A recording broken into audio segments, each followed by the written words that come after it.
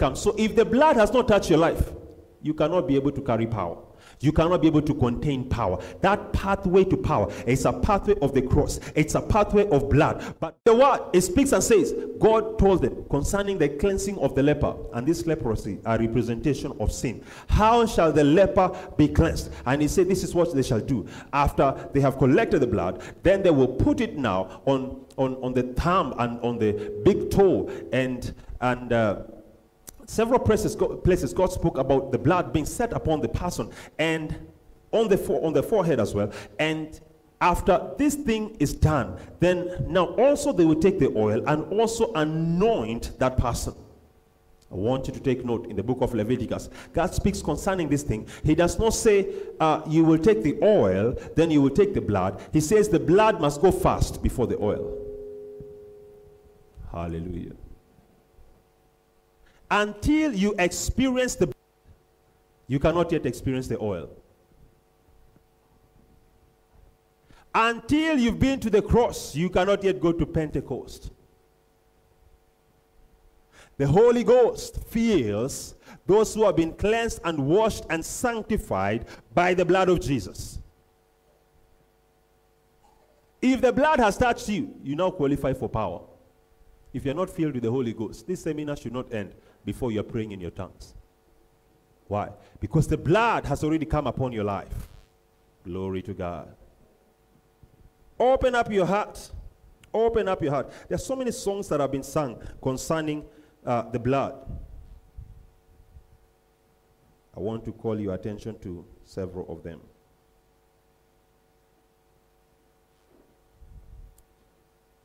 There's a fountain filled with blood drawn from Emmanuel's vein, and sinners plunged beneath the flood lose all their guilty stains. I'm sure you've heard that song. And I know, yes, I know, Jesus' blood can make the vilest sinner clean. I'm sure you've heard this song.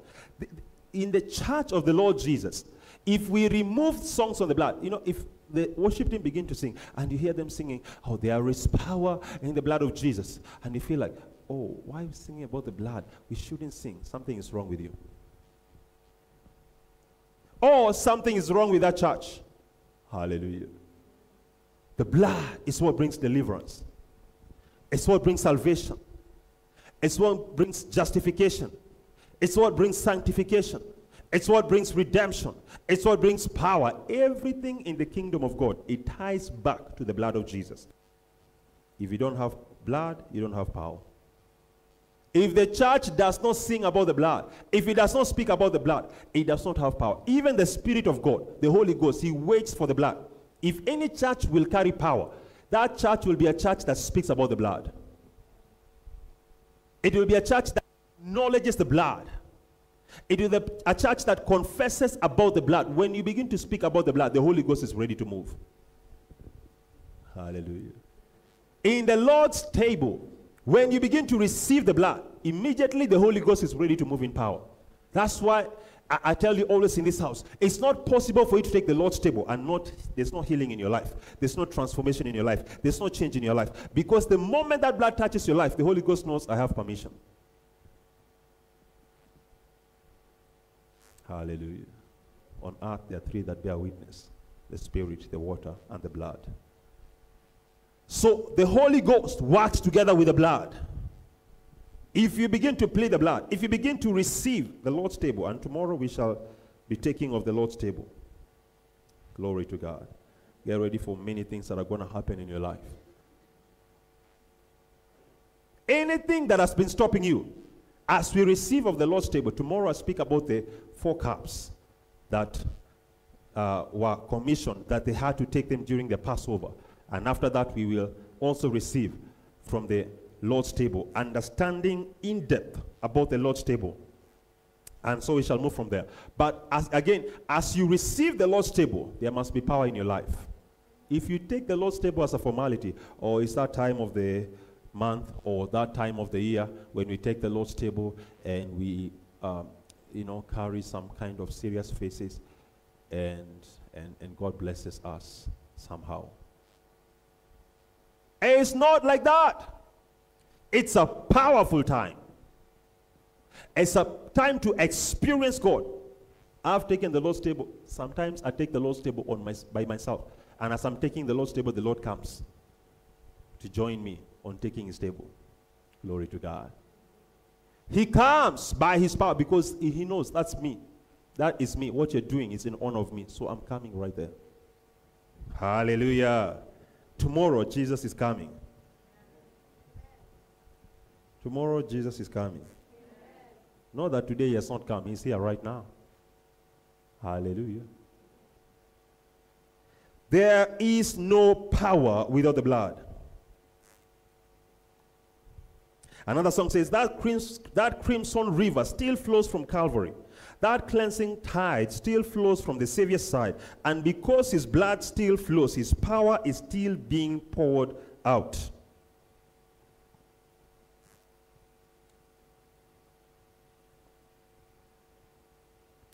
In the book of Leviticus, God spoke to them and said, I have given you the blood upon the altar to make an atonement for your souls, for it is the blood that makes an atonement for the soul. The book of Hebrews, I believe it's 922. It says, Without the shedding of blood, there is no remission of sins. You could not be a child of God without the blood of Jesus. You know, the covenant that God has brought us into through his son Jesus is a very powerful covenant. Why? Because the covenant that was there before was a covenant that was based on the blood of animals and beasts, goats and cows and birds and all the like. That was the covenant. Yet that covenant was so powerful that Moses, when he encountered God, the Bible speaks concerning him, that his face was shining. Shining so bright. They couldn't look at his face. The man had to put a veil on because he's shining. I pray to God that your face can shine in this way in Jesus' name. Ah, your amen is very weak. Say, Lord, I repent. What are you repenting of? It's little faith.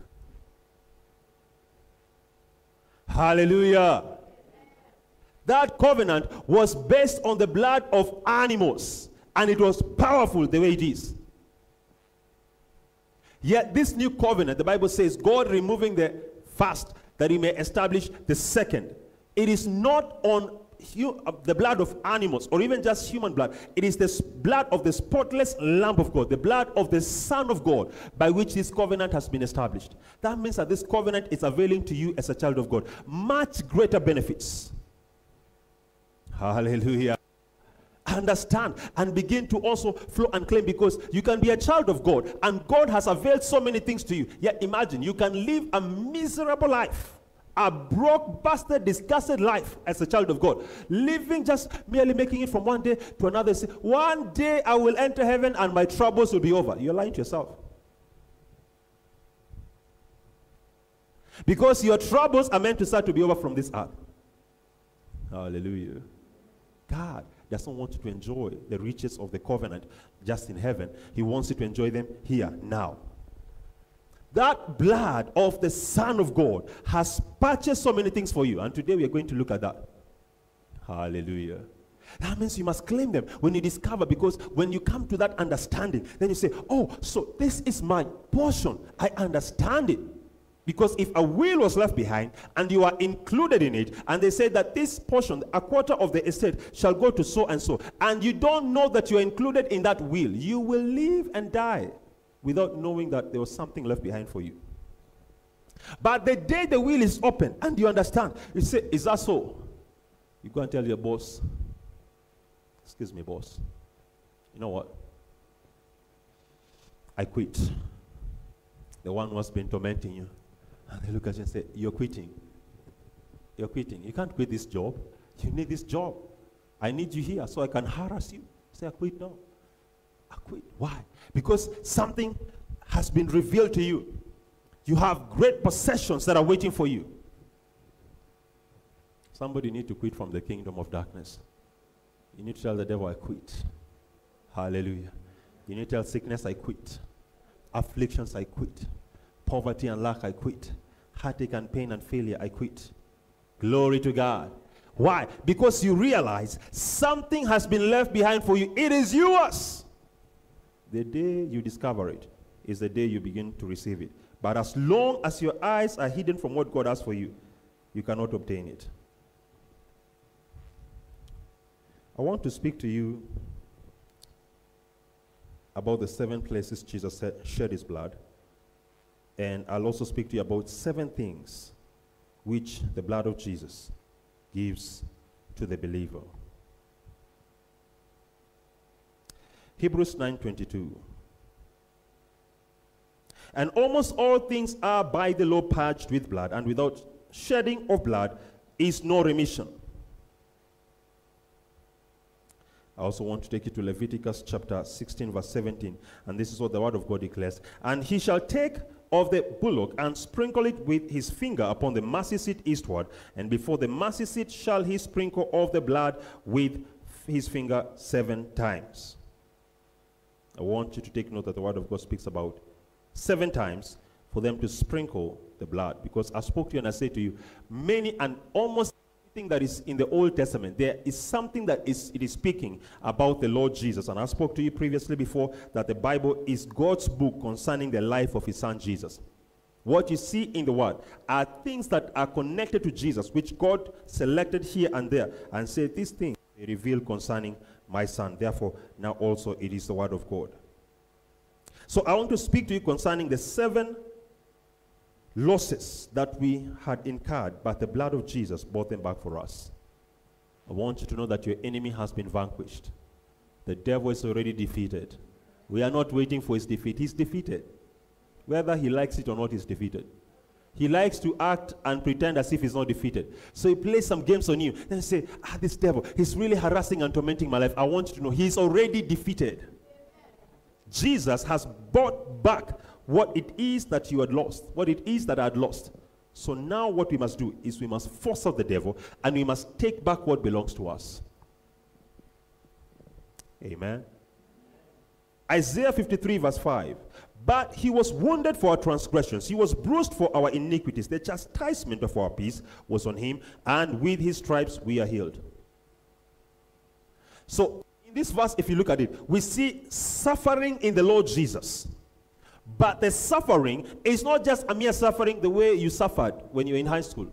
And the or the discipline master, they gave you some strokes of the cane. Today, you know, kids have been delivered.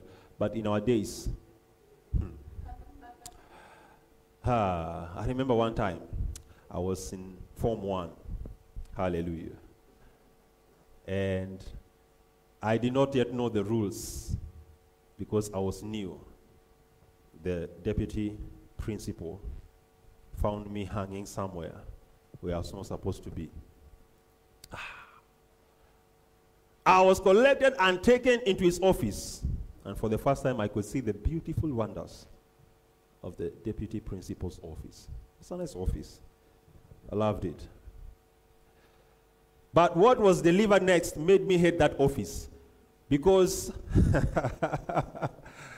I received seven strokes of the cane. And from that day, I knew there is trouble in entering this office. That was for me. But I want you to know that Jesus took trouble for you. Hallelujah. Not really done anything. I was, I was wondering, what, what kind of a school is this? I mean, it's just walking here and you punish me. But those things, they happen in life and so on. So, us, we can get punished and it's for us. But in that verse, it says that Jesus was punished not for himself, but for you, for me. There was an exchange that was being done. Praise God. Wounded for our transgressions. So it's for me. Bruised for our iniquities. Is for me. It's not for himself. The chastisement of our peace was upon him. Is for me. And with his stripes we are healed. Is still for me. Everything that Jesus went through in the Passover season, because we identified him as our Passover lamb, and he gets the punishment in our behalf. It was all because of you and because of me. Glory to God. Seven places Jesus shed his blood and what he purchased for us. Number one, he shed his blood at the Garden of Gethsemane. Luke 22, verse 44. And being in anguish, he prayed more earnestly, and his sweat was like drops of blood falling to the ground. And we see here that Jesus begins now to redeem our willpower. Because in the same garden, we find him being able to say no to what he wanted. And he says yes to what God wanted. As is there, because it's in the Garden of Eden that Adam said yes to what he wanted and not what God wanted. Now, in another garden, Jesus, our second Adam, he has arrived, and now he's beginning to face the same kind of situation Adam and Eve faced. Are you going to flow with what you want, or are you going to flow with what God wants? And as he's in that moment, he says, My Father, if it is possible, take away this cup from me. But he says what? that let not my will be done, but let your will be done. And right there, as Jesus won that battle, the battle of the flesh, where the flesh and sin is saying, you must go in this way. And he decided to go with the way of the Father. At that same time, God bought back your willpower. What that means is, as a child of God, you can say no to sin. Hallelujah. Before you got born again, you know it very well. Sin was your friend it was your body. Anytime it wants to pick you up, you will find yourself in sin here and sin there and so on. But now, as a child of God, sin can look at you in the face and you tell it no. Hallelujah. Your willpower has been bought back for you.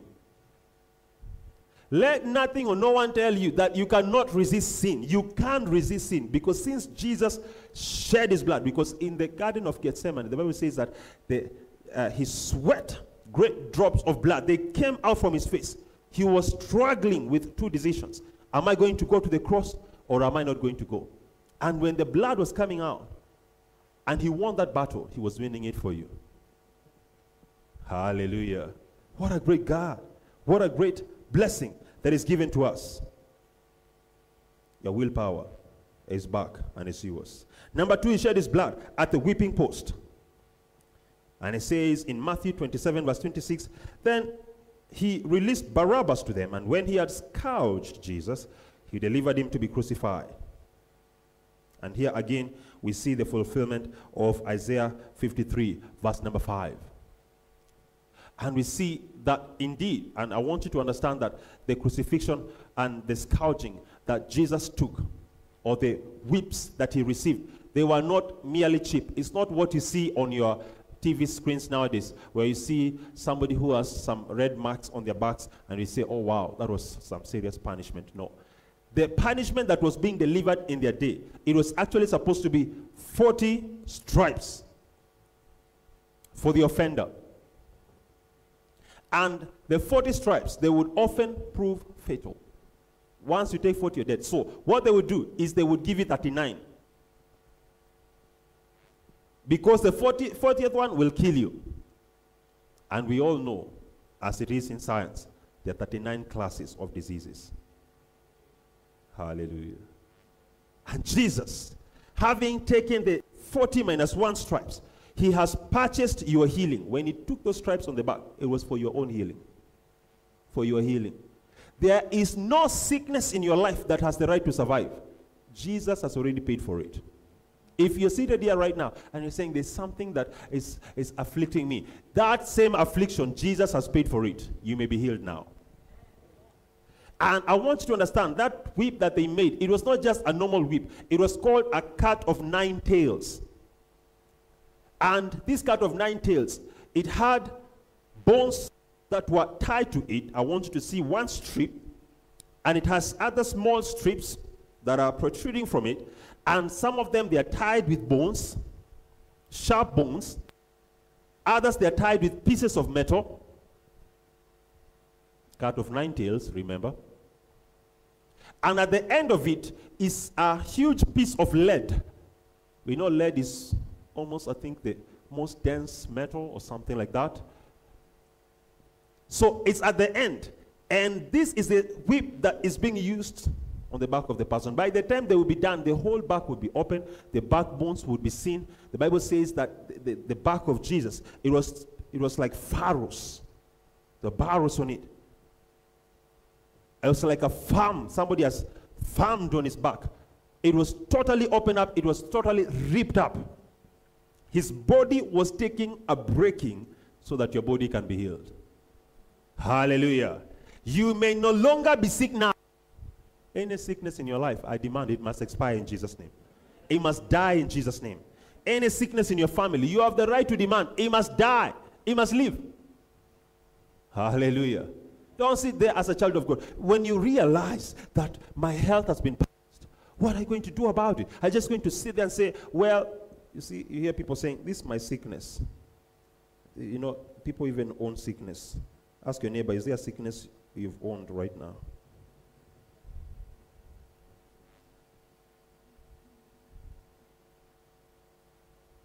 This my sickness, it is yours. Even the devil, when you command him, leave this person, the, the devil will say, I can't leave this person because, you know, they have accepted me. I can't go. Renounce it and let it live your life. Number three, he shed his blood internally. Matthew 27 26. And when he released Barabbas, rather, then he, re- he released Barabbas to them. And when he had scourged Jesus, he delivered him to be crucified. They beat him up. He took severe beatings. And as they were giving him these beatings, again, Isaiah 53, verse number 5, he was taking many internal injuries. And these internal injuries, they were to redeem us from the power of sin. You know, the word iniquity, he was he was bruised for our iniquities. Those internal injuries were so that iniquity can be broken from your life. Transgression is a sin which you commit with your full knowledge. When you know, you know very well, it's wrong for me to do something. And with that knowledge, you just go ahead and you do that same thing. That is called transgression. Sin is missing the mark. It's when many times you don't even know it's a wrong thing. Somebody will tell you, Did you know you did the wrong thing? You missed the mark because they would have the arrow. When they fire it towards the, uh, it's called the bull's eye, which is normally at the other end, you know, sharpening the, um, sharpening the archery skills. And when they would shoot the arrow and it would not hit the bull's eye and it hits somewhere else, they say you have sinned. So you miss the mark. There's a mark that God has set for us. All have sinned and fallen short of the glory of God. So when we are in sin, we fall short of His glory, and therefore now also we need redemption. But now here we see God is sending Jesus, and He takes His beatings. There are some other uh, uh, sinful tendencies that are hidden within us. Iniquity. Iniquity is a fault line. It's a generational fault that is within your life it does not depend on what you see, what you hear, what you do. As you are born, it automatically manifests in your life. Have you seen small children that can make you run away from anger? Small child like this. But when they get mad, hey, they say, This child, what is this manifesting in them? Even they can have veins showing up on their face, and it's a small child. What is going on? Some problems, we inherited them from our forefathers. It's not something that you learned, it is just in you. And even sometimes it's in your family. You can just see it. Oh, yeah, right there it is. Yes, in that one it is. I sit in, in mommy over there. I sit in little sister over there.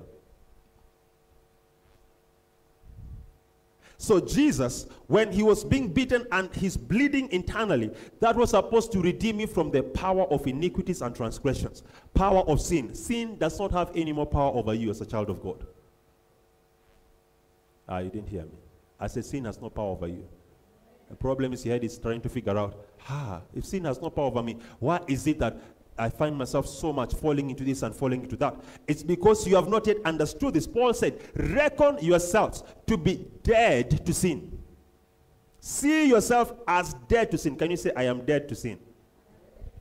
Once you understand you're dead to sin, then that means that sin, it has no power over you. Because somebody who has died to something, died to the earth, that is somebody who is totally on another level. When you're dead to sin, that sin cannot touch your life. You cannot feed a dead person and tell them, wake up and eat food. They cannot eat. Why? They're dead. Sin does not have any power over you. God has removed it from your life. Hallelujah. I don't know if there's any sin that you find. Very often I actually fall into this sin. But I want you to know that Jesus has already paid the price. That sin has no power over you. You may be free. You may be free. And I'm commanding every grip of sin upon your life to break in Jesus' name. It shall not hold you. It shall not have power over you. It shall not rule over you. You will rule over sin. Say, I'm a slave to righteousness, not to sin. If you find you're a child of God, yet you fall, you live in sin, you are not a child of God. Forget it. We should just call it child of the devil. Only children of the devil. You see, when you're in the world, you walk in sin, you live in sin, everything about you sin. So we know that is a child of the devil. So you cannot say, I'm a child of God, yet to live in sin. It's not possible. The Bible says, remove that cloak and you receive the Lord Jesus. Amen. So sin must live our lives. As a child of God, you have the right to walk in righteousness every single day of your life. If your life is being lived from repentance to repentance, you also need to check your salvation. Hallelujah. Yes, there is repentance, and I'll speak about it. But the repentance is not something that you live upon because having been redeemed from sin, sometimes it will happen. And the Bible speaks about it. First John chapter 1, verse 9. There is a time that will happen. But it is not a continuous occurrence for the child of God. We have been liberated from that power. We may walk in righteousness. We may live like Jesus. Say, I am a new generation, patterned after the new Adam, the second Adam. The first Adam was a man of sin. The second Adam was a man of righteousness. That is who you are. That is who you are. That is who you are. Understand it as yourself. Know it in your head because once you settle it in your mind, then you know that sin has no authority over me. Number four, he shed his blood when they put the crown of thorns on his head. The Bible says in Matthew 27 29, and plaiting a crown of thorns, they put it on his head and a reed in his right hand, and they bowed the knee before him and mocked him, saying, Hail, King of the Jews. As they were doing that and putting that crown of thorns on him, God was redeeming your peace of mind. He was redeeming you from mental torment. As a child of God, the devil has no right to harass your mind. He has no right to remind you of your sins, to remind you of your past, to remind you of your failures. If the devil reminds you of your past, you remind him about his future. God cannot bring the past to you. He says that, uh, come now, let us reason together. Even though your sins are red as crimson, they shall be white as snow. Hallelujah. And he says what? Again, come, let us reason together. He says again, come now. Declare that we may be justified. And he speaks concerning how we can speak to him. And he says, I am the one who blots out your transgressions, your iniquities. I will not remember them anymore. If you repented about sin, God does not remember it. So if you find you remember sin, a reminding you. You tell him, No, I am redeemed. I am forgiven. That sin is gone. It's not existent anymore. I am justified by the blood. Forget about it, devil. Now let me remind you about your future. You will burn in the lake of fire. Hallelujah. Become serious with the devil. He's serious with you. Be serious with him. Tell him where he's headed. Next time he wants to come, you will remind him about that. He knows this one, I cannot go there. They will tell me something I don't want to hear. But God has redeemed us so that we may have peace of mind. The devil has no right to put stress on you, confusion on you. Your mind should go free because your mind is the channel by which your life you live. If your mind is compromised, your life is compromised. If you're thinking straight, everything about your life will be straight. If you think crooked, your life will be crooked. Joyce Meyer said, Where the mind goes, the man follows. So when Jesus was redeeming your mind, he was losing you as well, that your own head will help you to your destiny. You will not be stranded in life. You find yourself moving on the pathway to your destiny, straight to your destiny, you accomplish it and leave the earth. Hallelujah. No more going around in circles. Your mind has been freed. Your mind has been liberated. If you are stressing, stressing, stressing in your mind, you find so many things are happening to you mentally. Begin now to tell the devil, let me go. Let me go. This mind has been redeemed. And I command every oppression on your mind to break by the power of the Holy Ghost. In the name of Jesus. Number five, he shed his blood when they pierced his hands. Matthew 27 35.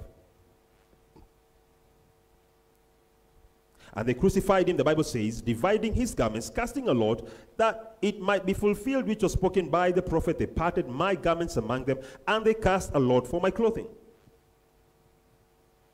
God sending his son Jesus that he can break the curse from your hands. And where, uh, in that instance, Jesus was redeeming your power to succeed, your power to prosper, and your ability to receive your spiritual inheritance. Now you can be blessed. I said you have permission to be blessed. You have permission to prosper.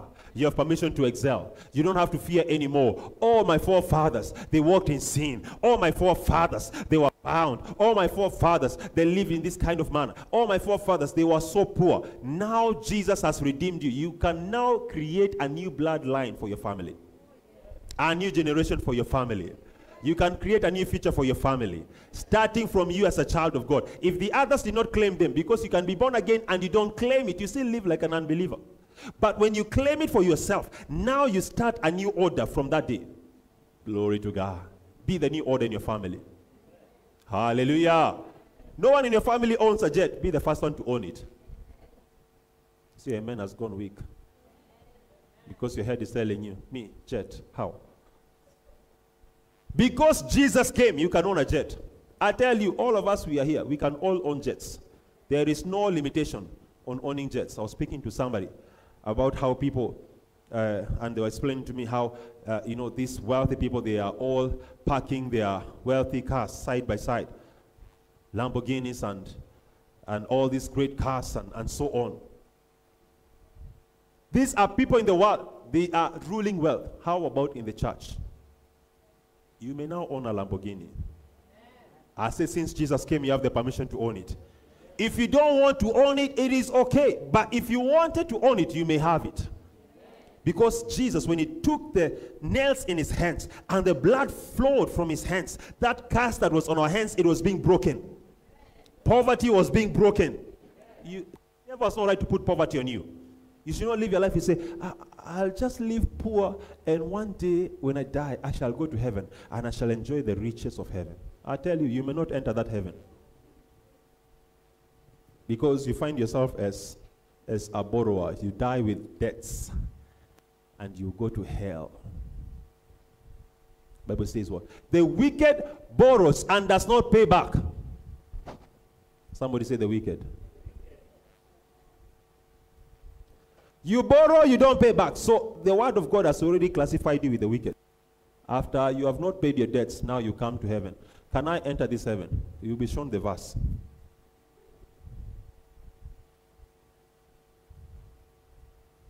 does not pay back. Hallelujah. What does the word say? It says, Oh, no man anything except to love. Oh, no man anything. So, as a child of God, you have the right to claim that I will not be in debt to anyone. And if there are any debts in your life, then as you are hearing this word, you have the right to claim that that debt must be settled. That debt must be broken. That debt must live your life. You must live debt free as a child of God. It's a curse to be in debts. Did you know that? You can borrow to redeem yourself. And once you borrow, if you don't redeem yourself in the period that you said, I will redeem myself, that is showing you there's a curse upon your life. But the word of God says what? It says that we shall lend and not borrow. Amen. So, as a child of God, I qualify to be a lender. Can you say I qualify to be a lender? If you go on the borrowing side, that means you are the underdog now. But Jesus has bought your prosperity back. He has bought your blessing back. You may now rise up as a millionaire. You may rise up as a billionaire. You may rise up wealthy in this land. You may rise up and lend. Amen. Try even sometimes to lend to people. Don't just be that child of God who likes to be given. I tell you, if you're a child of God who likes to say, Oh, please help me. I need some fare. I go home. I need this money. I go home. When you do that, God showed me there's somebody who came to me and they were doing that. And God told me, Tell them to stop doing that. Why? Because as they were doing that, a spirit of begging entered into their lives. And begging and poverty, they go together. And I had to pray over him to break the spirit so that he can go free. Learn to not be a borrower. Hallelujah. Even it looks innocent. Say, ah, I was just asking for 200 shillings. Learn to not be a borrower. Learn to be a lender. That is who you are. I can't get immense there. Because somebody still saying, I want to borrow some more before uh, I leave this business. Tell your neighbor, be delivered. God has given you your part as a child of God. You are a lender. You should lend. That's what I'm telling you now. Go and take some of your money and just give to someone and fulfill that verse. Amen. Fulfill all righteousness. Take money. Say, I need somebody who. Is there anybody here who needs money? I, want to lend myself right now. Is there anybody who needs money? Here. So, what I'm speaking to you is not coming into your ears.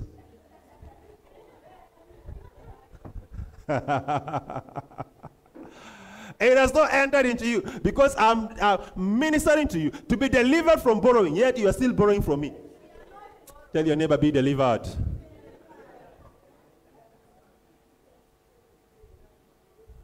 Hallelujah. or you are borrowing from me so you can go and lend somebody else. I think that is righteousness. God bless you. Be delivered.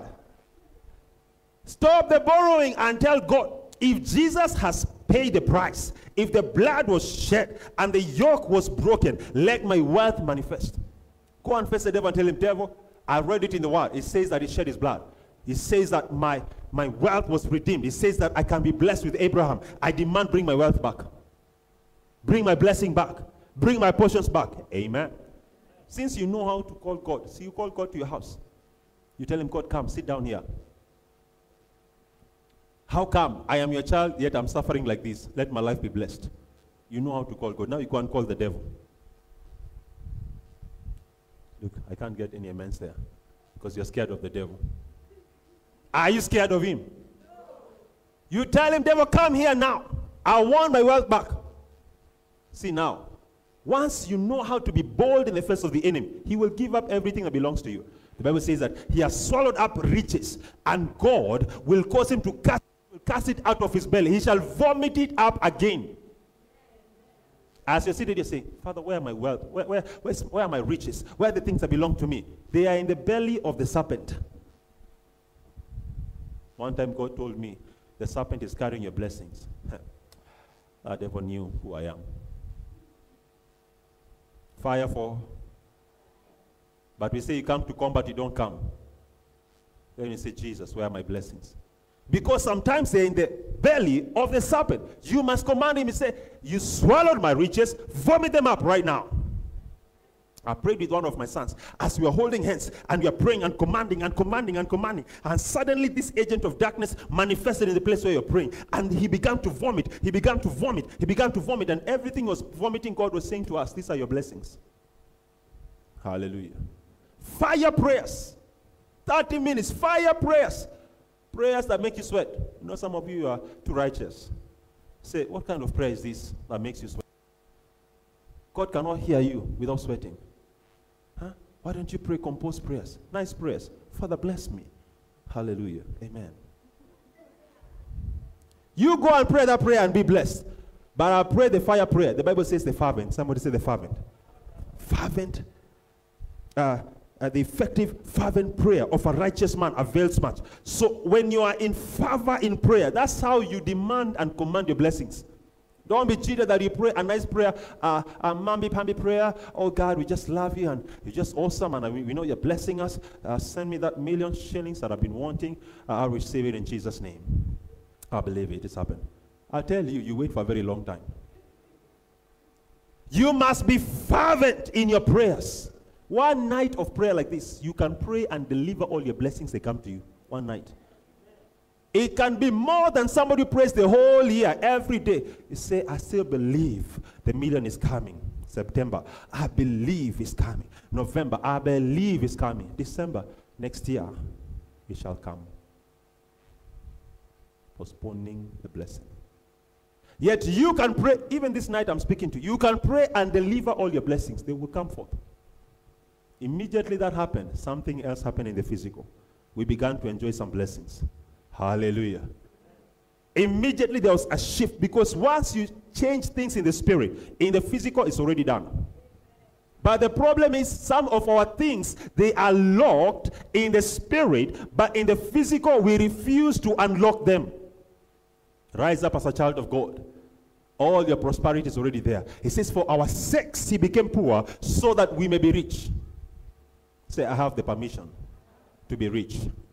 Now, your mind must believe this thing. If you are tied in the mentality that uh, children of God are supposed to walk in lack and in poverty so they can look righteous, that kind of mindset will never allow you to be blessed. It will stop you from every blessing that belongs to you. You must know that Jesus, he left the riches of heaven and became poor on the earth because we know that the Bible says that uh, the Son of Man has foxes. Uh, have holes, and the birds have nests, but the Son of Man has nowhere to lay his head. He became poor for your sake. Now you may be rich. So if Jesus became poor for me to be rich, and I am walking poor, I am an embarrassment to Jesus. Hallelujah. Why? Because all these things have been purchased. Imagine Israel. God has purchased all the blessings for them. He said to them, This land of Canaan, it belongs to you. You can have the whole of it. Yet, when now they, it is time for them to conquer the land, they sit down and they say, Well, we have some space. I can live here. At least that, that one we conquered is a storied building. I can live in the upper chamber. Yet the Bible says that there was much land remaining to be conquered yet. I believe it's Joshua 13 14. Much land. And Joshua began to command them, Why are you slack to go and possess the land which the Lord gave you as an inheritance? So if you don't have money in your hands, if you're not prospered, if your hands are not prospering, you start a business, it falls up. You start something, it breaks down. If that is happening, one, you need to pray to break that curse. And two, you need to also reckon it in your mind that God has already blessed the work of my hands. Anything I do, it must excel. Anything I do, it must prosper. Anything I do, I must succeed. My hands are blessed. Say it again, my hands are blessed. Say it again, my hands are blessed. Anytime you touch something to do, you must know that in your head. But if you find that you are trying and nothing is happening, then it's time to ask the Lord, Father, break the curse from my hands. And today I pray for you, any curse that has been on your hands, that has been stopping you, that you must not prosper. I make the declaration, let it break, let it break, let it break, let it break. Let it break in the name of Jesus. Shout a big amen. amen. Shout a big amen. amen. Oh, glory to God. Number six, he shed his blood when they pierced his feet. Matthew 27 35. And when they crucified him, dividing his garments, casting a lot, so that it might be fulfilled, which was spoken by the prophet, they parted my garments among them, and they cast a lot for my clothing. And what was redeemed there was our dominion and our authority. Joshua chapter 1, verse 3. Every place the sole of your feet, of your foot shall tread upon, that I have given to you. Luke 10, 19. I give you authority to tread on serpents and scorpions and over all the power of the enemy, and nothing shall by enemies harm you. God has already bought back your dominion. Hallelujah. When Jesus shed his blood, when they drove the nails into his feet and blood came out, it was not just his feet uh, losing blood, but it was a declaration. Every curse that has been on your feet, it is broken already. You may walk in power now. You may walk in dominion now. Wherever you go, you may be in charge. You may be a ruler now. Hallelujah. Dominion has to do with rulership. It has to do with authority. It has to do with power. So for a child of God to be at the lowest rank, the end of everything else, you are the cleaner. Now the CEOs are meeting they are the ones who are the Freemasons and every, everything else. And you, the child of God, you are the one serving the tea in the office. And they're not welcome to the meeting. After they're having their break, there you come in with the apparatus and you tell them now you guys can drink and you go out. It's a lie from the pit of hell. That disorder must be corrected. It must be corrected. They should be serving you and you should be on top of them. God told me, He said, Son, don't you understand that I did not design for you, my people, to be led, but I created you and I meant it that you must be leaders in your generation. I tell you, whether it happens in your life or not, God has made you a leader in this generation. It is the end of the matter. You are a leader, you are a ruler, you are in dominion, you are in power. If you sit down and say, Well, it seems like what you're saying it is, and you don't do anything about it, if you end up like Lazarus, you see Lazarus, he was eating the crumbs, and the rich man is eating from the table, and Lazarus dies, you will go to heaven, yes, but on earth you live a miserable life. It is not God's responsibility, it is your responsibility. It's not even my responsibility. Hallelujah.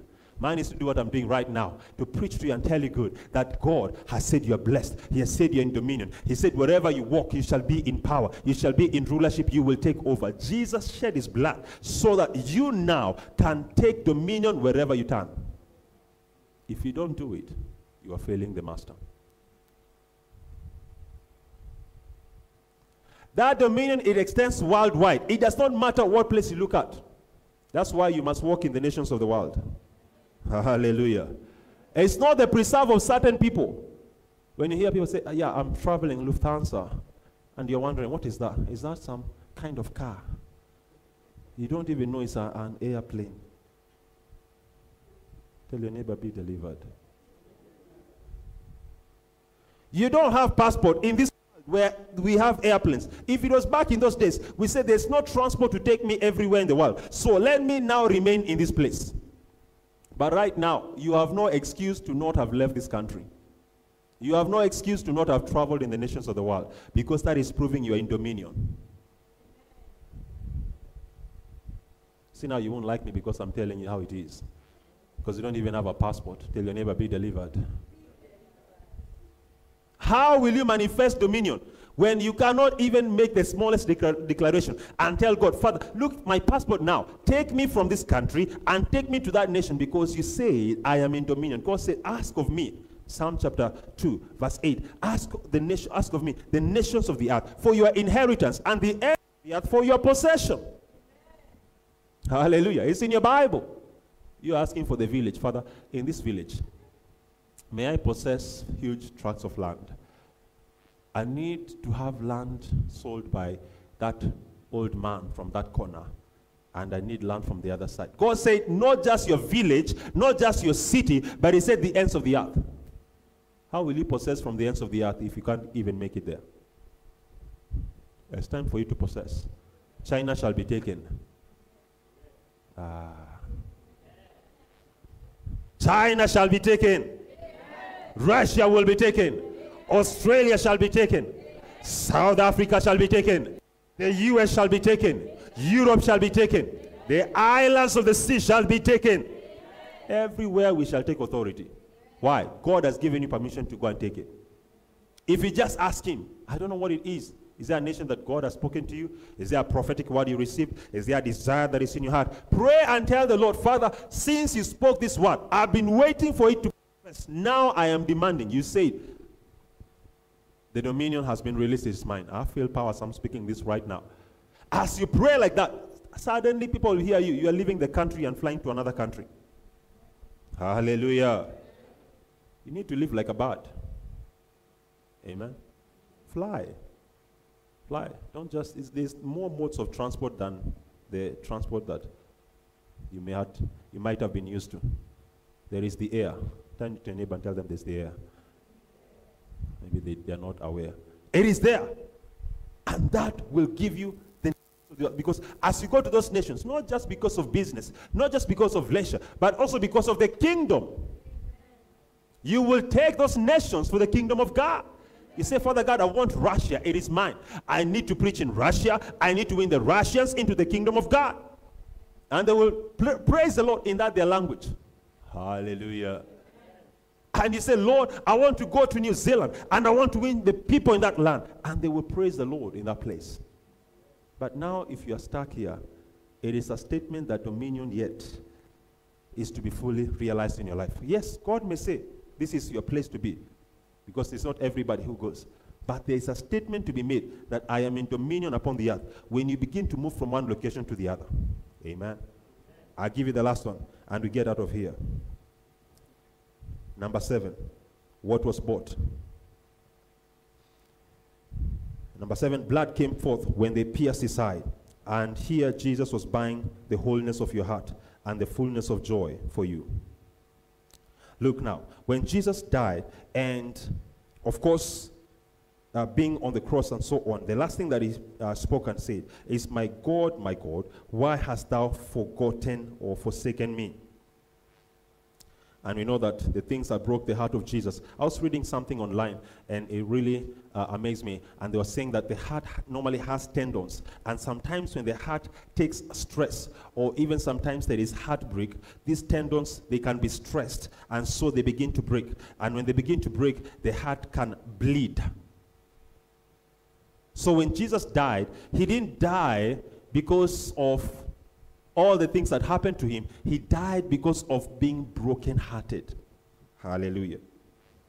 Even as the Bible says, that they pierced his side and blood and water came out. I want you to understand that the blood and water that came out, it was not because of the spear, it was not because of what they did to him, but it came out because the heart of Jesus was already broken and blood had gathered in his side. Hallelujah. Since Jesus suffered in this way, he redeemed your wholeness of heart. He redeemed fullness of joy for you. Now you may be joyful. You don't have to carry anguish and pain in your heart. You don't have to be harassed in your heart. You don't have to carry all these hard feelings in your heart. You may carry joy. Your heart may be made whole. Maybe somebody broke your heart. Hallelujah. You know, sometimes your heart can be broken, you feel like you can't love, and sometimes the man of God is coming and he says, ah, The Lord shows me now that your wedding is ready to happen in, in three months' time. And you say, Which wedding? You know what I've gone through? Hallelujah. Because your heart has been broken. People have taken you through so much that you say, No, no, no, no, no, no, no. No. This one, no, I've refused. Because every boyfriend, every girlfriend who comes along, they break your heart. Jesus, his heart was broken so yours can be made whole. That means that God now can heal your heart and he can bring a new person in your life. And that person will love you. And that person will take care of you. I can't get immense there because some people are still thinking about their heart. Tell your neighbor you've already been healed. You just didn't know it. Broken hearted, so we may be healed. Your heart does not have to carry pain anymore. Let that pain leave your heart today. Let it disappear from your heart today. Let God heal your heart today. Those tendons that have been broken, because it happens also in the literal sense. That's why somebody can feel a pain in the heart. Have you ever felt that? Hallelujah. Somebody does something, then you feel something in your heart. You, you, you, may think, I'm feeling pain in my heart. But exactly what is happening is that there are tendons that are breaking there, and the, your heart is reacting to the pressure that has come upon your life. Today, there's healing for you. It may happen in your life. These seven places Jesus shed his blood, and the Bible says, when he was done, he said, It is finished.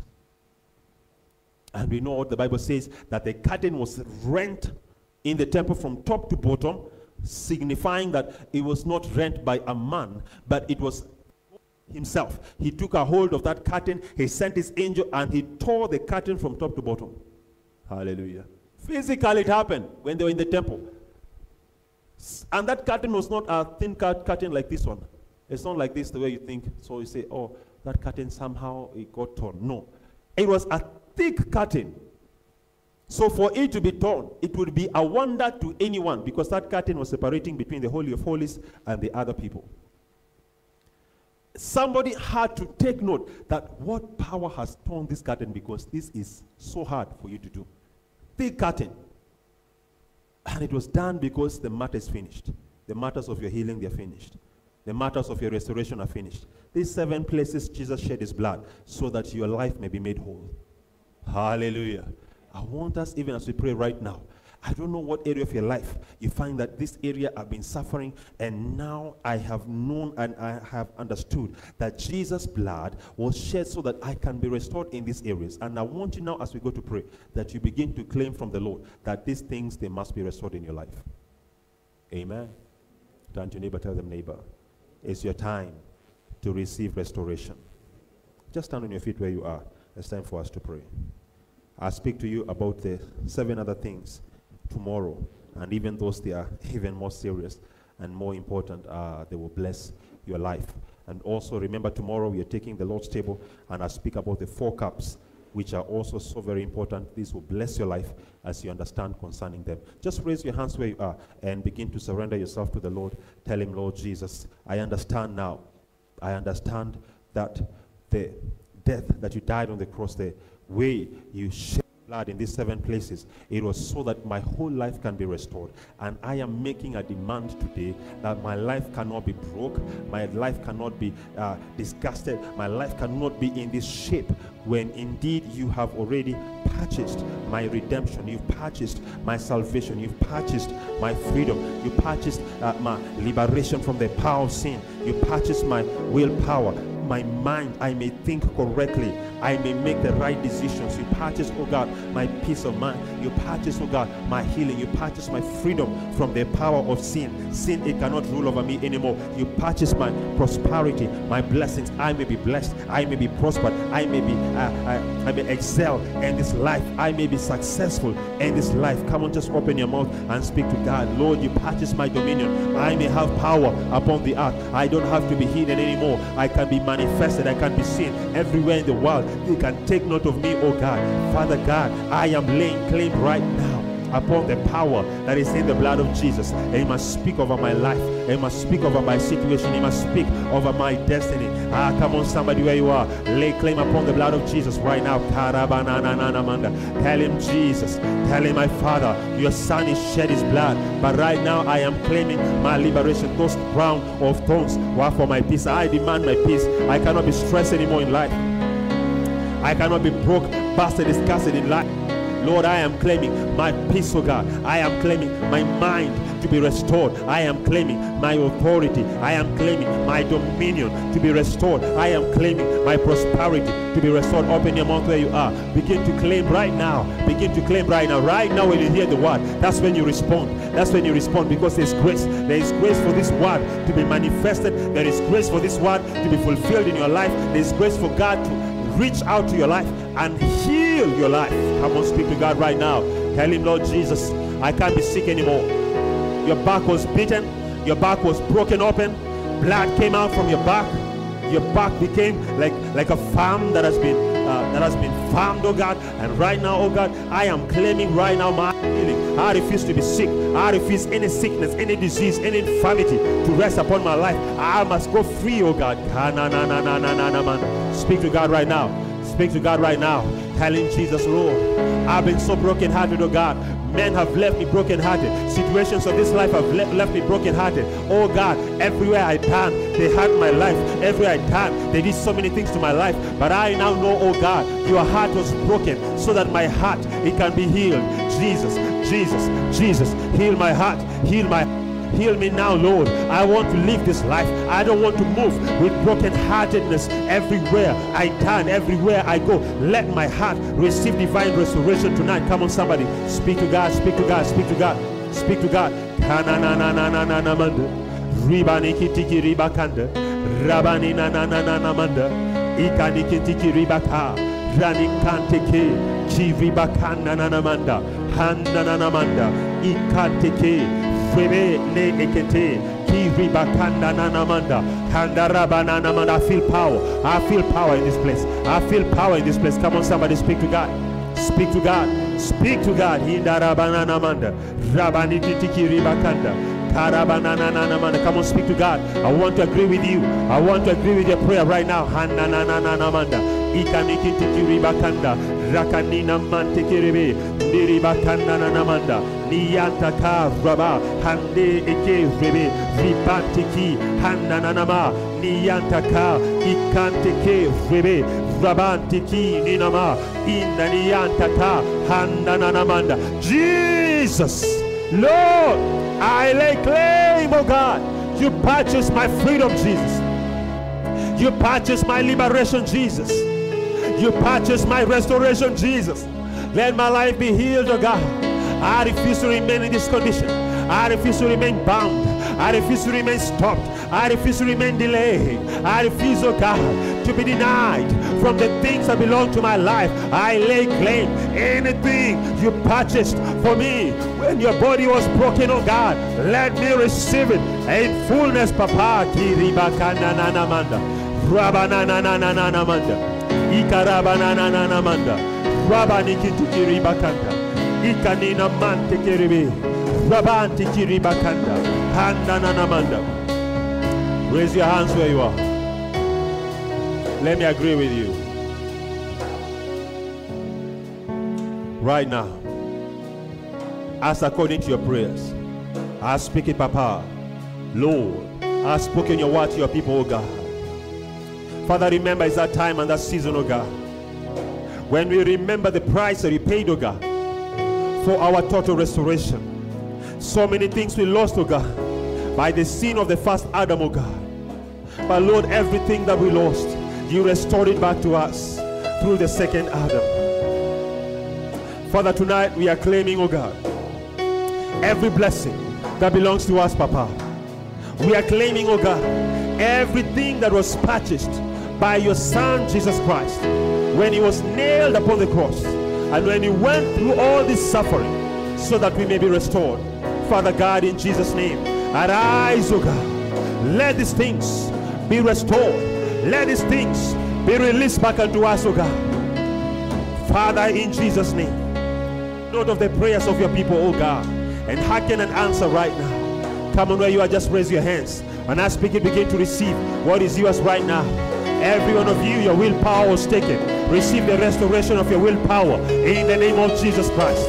Every one of you, the devil stole away your peace of mind. Every one of you, the devil harassed your mind and is harassing your mind with torments. I speak right now. Receive the liberation of your mind.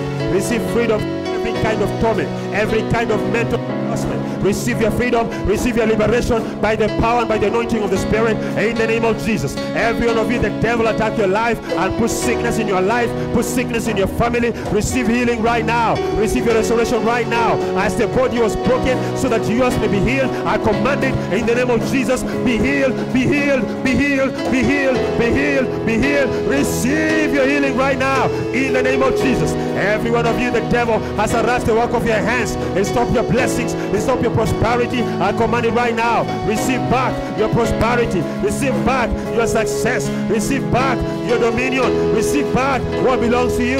I declare it. Wherever you must go, wherever you must carry power, wherever you must carry influence, it is returned, it is restored back unto you. Receive the power in the name of Jesus. Receive your blessings back, receive your portions back, receive your virtues back, receive your increase back, receive your wealth back, receive your greatness back, receive it back, receive it in the name of Jesus.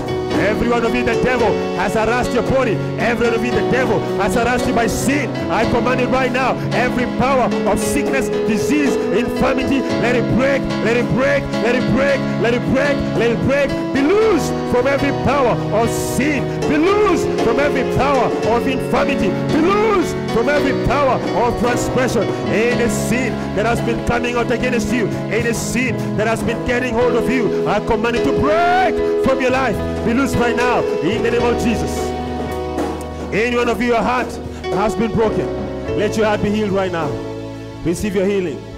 Receive your healing. Receive your healing. I command your heart to be healed. I'm telling you, the power of God is flowing everywhere in this house. Just where you are, keep your hands lifted and receive what belongs to you. I command your heart to be healed.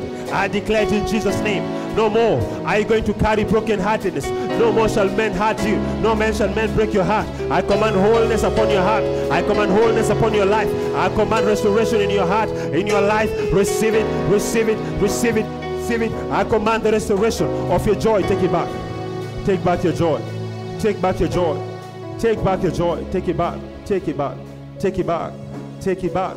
Take it back. You will no longer walk with a sad and a long face. You will walk with a glad face. You will walk with joy on your face. Receive it in the name of Jesus. Come on, somebody, just raise your hands where you are. Begin to bless the Lord. Begin to bless the Lord. Begin to bless the Lord. Ikarabananananamanda. Rabani kitiki ribakanda nanamanda. Ikarabanananamanda. Rabani kitiki ribakanda. Kina mantiki ribi. Rabantiki ribaka. Handananama. Niyantaka. Handi iki ribi. Rabantiki ninama. Handananamanda. Father God, tonight I speak the lives of your people are blessed, oh God. I decree, I set the mark of the blood of Jesus upon their lives. I set the mark of the blood of Jesus upon their families, upon their siblings, upon their children, upon their parents, upon their relatives, oh God. I set the mark of the blood of Jesus upon their generation, oh God. I set the mark of the blood of Jesus upon their works, oh God, the work of their hands, their businesses, mighty Father, their workplaces, Jehovah God. I set the mark of the blood of Jesus in their offices, oh God. I set the mark of the blood of Jesus in their ministries. I set the mark of the blood of Jesus on their houses, oh God. I set the mark of the blood of Jesus on their dream lives, oh God. I set the mark of the blood of Jesus upon their lives, upon everything that is set in the lives of your people. I plead the blood of Jesus. Let the blood of Jesus speak over your life. Let the blood of Jesus speak a better word over your life. So I speak it. So I command it. And Father, I decree tonight your people are blessed, oh God. As they come from this place, I decree their lives, they cannot remain the same. So it is done, and it is so. In Jesus' name. Somebody say, Amen. Can you appreciate the Lord Jesus? Can't your neighbor tell them, neighbor, it's done in your life?